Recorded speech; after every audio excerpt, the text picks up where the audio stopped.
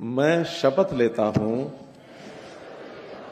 कि अपने राज्य, हरियाणा को नशा मुक्त करने के लिए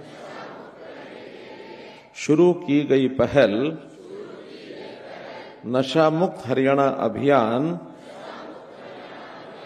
को आगे बढ़ाने में अपना पूर्ण योगदान दूँगा।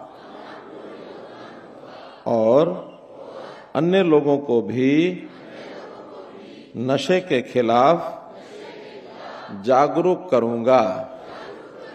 मैं आज इस अभियान को आगे बढ़ाने में सहयोगी और सहभागी बनने का भी संकल्प लेता हूँ।